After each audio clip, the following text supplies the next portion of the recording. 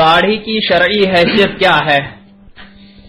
ये पहले जवाब दिया जा चुका है कि असुदत फीहल कब्दा दाढ़ी की शरी हैसियत यह है कि वह सुदत है और हजूर सलाम की सुन्नत सनिया है और ये वाजिब है और शिहार इस्लाम है और उसकी हद शरी जो है वो कदर कब्जा एक मुश्त है, उससे कम करना या मिटाना, ये हराम नाजायज गुना है।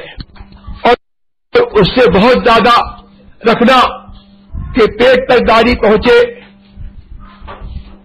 खजरे कब्जा से ज़्यादा, थोड़ी अगर ज़्यादा हो तो कोई एज नहीं है।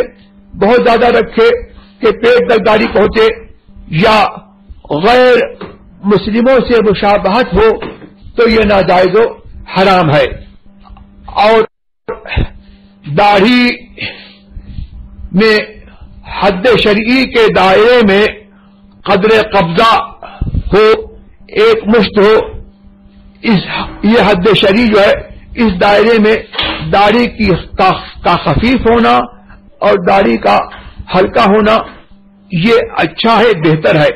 और बहुत ज़्यादा दाढ़ी का लंबा करना ये कम अकली की अलामत है।